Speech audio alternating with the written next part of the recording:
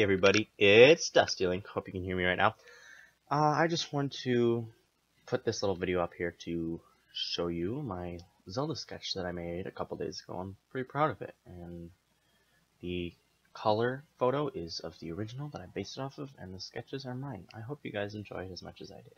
Thank you, and have a great day. Oh, this is also a little opportunity for me to um, show my new intro and outro, to you guys excuse me.